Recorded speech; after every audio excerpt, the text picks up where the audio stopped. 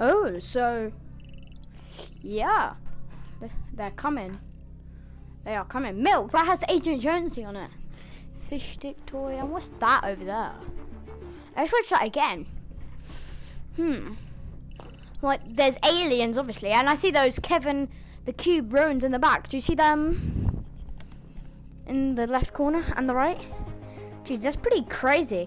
I think that's the first out of three videos because you could see um on the right corner at the bottom.